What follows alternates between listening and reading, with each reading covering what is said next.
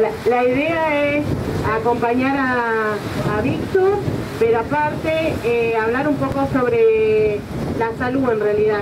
Eh, un poco de higiene personal, eh, los hábitos saludables que debemos tener, comer saludable, por eso los chicos trajeron unas manzanas, aparte que hacen bien a los dientes, y no, no mucho el consumo de golosinas, gaseosas, eh, a ver qué más.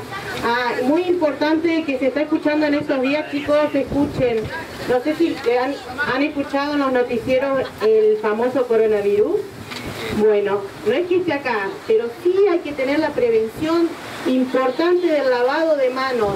A través de las manos es donde, si tocamos acá, después debemos lavarnos porque no podemos eh, tocar a alguien que estuvo enfermo eh, y tocamos, bueno, importante el lavado de manos, si tocamos el perro, eh, continuamente tenemos que lavarnos las manos antes de comer, después de ir al baño, después que tocamos a nuestras mascotas, porque a través de las manos, las uñas, es donde están los gérmenes y sin darnos cuenta, porque no los vemos, nos podemos enfermar.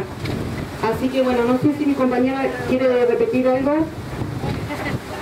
Eh, también hacer mucho hincapié en el tema de consumir agua. Eh, es importante ingerir agua, no es lo mismo tomar jugo eh, gaseosa que tomar agua. Nuestro organismo necesita agua, porque está compuesto por el 75% más o menos de agua, entonces es importante que tomemos agua.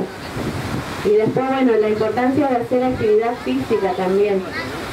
Eh, el cepillado de dientes, no sé cómo andamos con eso. ¿Cuántas veces debemos cepillarnos los dientes? Tres. Tres veces, como mínimo. ¿Cuál es el más importante de todos los cepillados? El de la noche.